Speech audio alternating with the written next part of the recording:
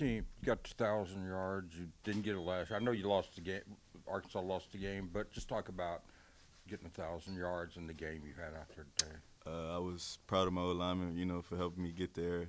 Uh, I mean, that was the goal this week, basically to, you know, get 180, and our O line went out there and got the job done, and I saw it and hit it. So I was really proud of those guys up front. You know, they did real good today, even though I didn't touch it much.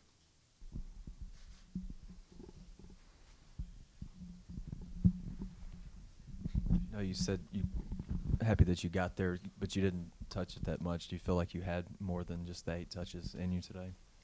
I mean, yeah, but I mean, like I said, I was when I got the ball, I was just trying to score every time I got the ball. So I got it eight times. You know, I tried to make something happen out of those eight times. To the defensive guys, just kind of, can y'all describe the way that things went down today? Uh, early on in the first half, that's really like where they got at eight points. We just couldn't get out the field on third and fourth down, and that's you can't get out the field on third and fourth down. That's what's gonna happen. I'd agree with him.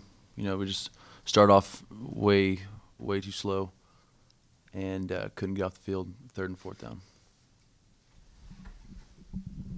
Bumper, is it a is it a uh, is it an execution? Is it is it something with gap control? What's happening with, with the run game the last three weeks that popping these big runs and these big yardage against the defense? Can you can you you break it down the film? Can you figure out what the problem is?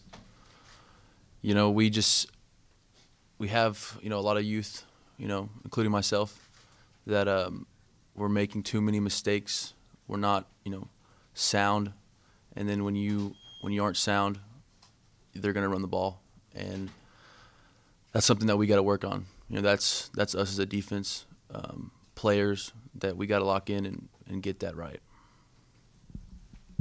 It's also for both defensive players, just Ty Storey's performance. I mean, did that surprise you? I mean, knowing what you already, you know, knew what he could do. Uh, I mean, Ty Storey, a good player. He came in, had a great game, and he, you know, props to him. Yeah, no, Ty, he's a good quarterback, and he's he played played lights out. You know, he's he did what he needed to do, and he put the ball where where he needed to put it. Cam and Bumper, when when things aren't going well, what do the coaches say to y'all on the field? Do they do they show you how they're disappointed in the effort, or or wh- how do, how do they kind of convey how they feel about the performance so far? With any with any defensive coach, when you get off the field, they're gonna you know assess what had what had happened, fix the fix the mistake um, that was that was there, and then you know Coops on the sideline getting us fired up, getting us ready to go in the game. So that's just that's that's basically what they do.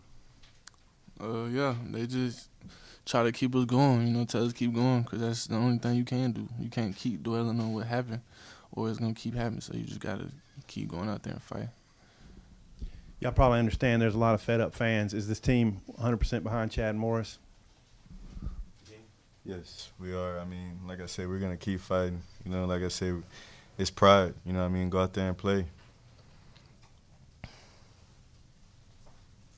It's back for defense again. Coach has said two weeks in a row that the effort defensively, he's not pointing anybody in particular, but he just says the effort's not there. What? How do you address that? Was the effort enough to to get off the field today? No, I mean if if we're being honest, you know we didn't get it done. Or I could come in here and make excuses that we, you know, fought hard. Y'all saw the score. You know, that's something that's not acceptable, and we gotta we gotta reach down and look. Every single guy's gotta look in the mirror, and understand that it's not it's not someone else's fault. It's it's your fault. You gotta you know fix your mistakes, um, and and if you have that mindset, eleven guys through, you're gonna have a successful defense in the future. Uh, yeah, everybody, all eleven players gotta go hundred percent every play, and whenever one player not doing that, then that effort not up to par. Yes, Rakeem, just how do you feel that, that uh, Jefferson and, and uh, Jones did at quarterback? I thought they played fine. I thought uh, we could have executed a couple drives, and you know, it was just little mistakes. Trailing going down there, the ball hit him in his chest, bounced off his helmet. I think that, happened about like two times. But tho- those are big long plays, you know what I mean? That John Stevens made a good throw and KJ made a good throw. So I mean, it's just stuff like that that we, you know that we just got to correct. So The TD plays, what, what kind of plays were they? What you see on? I mean, my offensive line did their job. They opened it for me, and you know I saw it, so I hit it. I mean, those guys up front been the whole year been doing their job, and I've been proud of them. So